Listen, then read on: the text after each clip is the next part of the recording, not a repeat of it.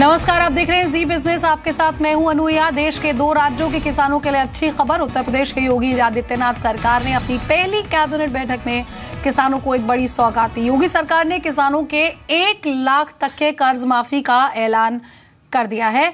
इसके लिए उत्तर प्रदेश सरकार करीब छत्तीस हज़ार करोड़ रुपए खर्च करेगी। और इस वक्त की बड़ी खबर है, ये यूपी कैबिनेट की पहली बैठक में ही कर्ज माफ़ी पर फैसला यहाँ पर हो गया है। किसानों के एक लाख रुपए तक के कृषि लोन माफ़ी का फैसला हुआ।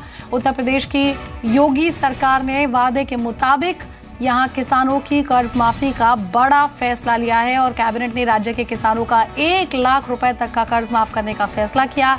और यूपी सरकार पर छत्तीस हज़ार करोड़ यूपी सरकार इस माफ़ी पर खर्च करेगी। इस फैसले से करीब करीब दो करोड़ पंद्रह लाख किसानों को फ़ायदा होगा। विधानसभा चुनाव में बीजेपी ने किसानों की कर्ज माफ़ी का वादा किया था और पीएम मोदी ने चुनाव प्रचार के दौरान कहा था कि राज्य कैबिनेट की पहली में ही, पहली बैठक में ही छोटे और सीमांत किसानों के कर्ज माफ़ी का फैसला होगा। किसानों की कर्ज माफ़ी के साथ ही कैबिनेट में और भी कई महत्वपूर्ण फैसले यहाँ पर लिए गए।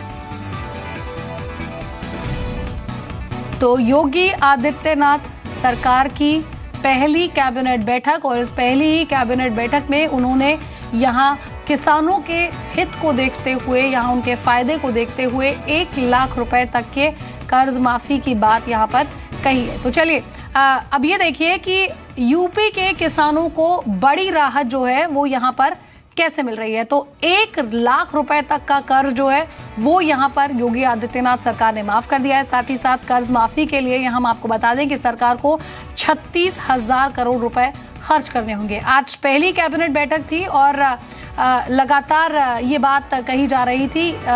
यहाँ पर अपने भाषणों में पीएम मोदी ने प्रचार के दौरान कहा था कि हम पहली बैठक में किसानों के कर्ज माफ़ी की बात को सामने लाएँगे और वही हुआ भी। करीब करीब दो करोड़ पंद्रह लाख किसानों को इससे फ़ायदा होगा। एक करोड़ नब्बे लाख छोटे किसान हैं जिनको यहाँ पर फ़ायदा होगा और बाकी के जो किसान हैं वो मीडियम लेवल मीडियम एंटरप्राइज वाले यहाँ पर किसान हैं। छोटे किसान एक करोड़ नब्बे लाख हैं, कुल करीब करीब दो करोड़ पंद्रह लाख किसान जो है उन्हें यहाँ पर फ़ायदा होगा। तीस हज़ार सीमांत किसान हैं, यानी कि मीडियम लेवल के किसान हैं और पैंतीस लाख किसानों के पास किसान क्रेडिट कार्ड यहाँ पर है और कर्ज माफ़ी करना बीजेपी का एक बड़ा चुनावी मुद्दा था और अब जब उत्तर प्रदेश में बीजेपी की सरकार आ गई है तो पहली ही कैबिनेट की बैठक में योगी आदित्यनाथ, मुख्यमंत्री उत्तर प्रदेश के, जिन्होंने ये फैसला यहाँ पर ले लिया है। तो किसानों के लिए राहत की खबर है। यहाँ उत्तर प्रदेश में करीब करीब यहाँ पर दो करोड़ पंद्रह लाख किसानों के लिए राहत की बात है यहाँ, और अब एक लाख तक के कर्ज माफ़ी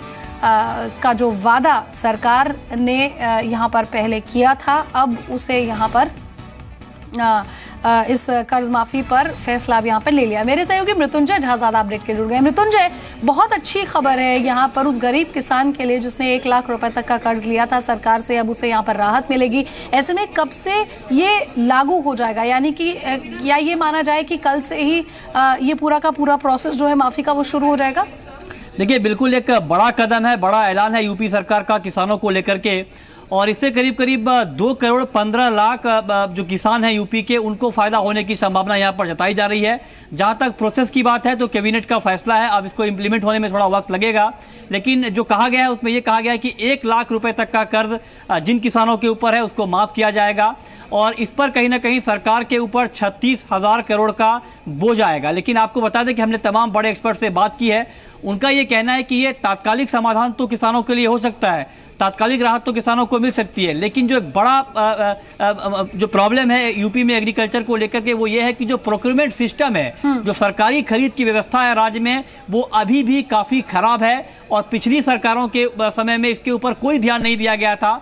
और यही वजह है कि उत्तर प्रदेश जो कि देश का सबसे बड़ा गेहूँ का उत्पादक राज्य है। करीब तीन करोड़ टन गेहूँ यूपी में पैदा हुआ है 2016-17 में जबकि सरकारी खरीद सिर्फ़ आठ लाख टन की है हम्म। तो एक बड़ा गैप है प्रोक्यूरमेंट में और प्रोडक्शन में इसको दूर करने की ज़रूरत है और साथ ही तमाम बड़े एग्रीकल्चर एक्सपर्ट ये मानते हैं कि उत्तर प्रदेश में एग्रीकल्चर ग्रोथ की काफ़ी ज़्यादा संभावनाएँ हैं हम्म। अगर नई सरकार उसको ठीक से यहाँ पर इम्प्लीमेंट कर पाती है एग्रीकल्चर के ऊपर फोकस बढ़ा पाती है इरिगेशन के ऊपर फोकस बढ़ा पाती है प्रोक्यूरमेंट एक बड़ा चैलेंजिंग फैक्टर है यूपी में अगर उसको दुरुस्त कर पाती है तो उत्तर प्रदेश में एग्रीकल्चर को लेकर एक रिवोल्यूशन हो सकता है आपको बता दें कि अभी आप, बिहार जो कि माना जाता है कि एग्रीकल्चर के हालात वहाँ पर भी बेहतर नहीं है हम्म। उत्तर प्रदेश की एग्रीकल्चर जीडीपी बिहार से भी कम है हम्म। तो निश्चित तौर पर खेती के मामले में यूपी में बहुत कुछ किया जाना बाकी है बिल्कुल, काफ़ी ज़्यादा पोटेंशियल है। अगर ऐसा होता है तो और इसकी शुरुआत मृत्युंजय यहाँ पर चीफ मिनिस्टर ने कर भी दी है बहुत बहुत शुक्रिया आपका इस तमाम अपडेट के लिए।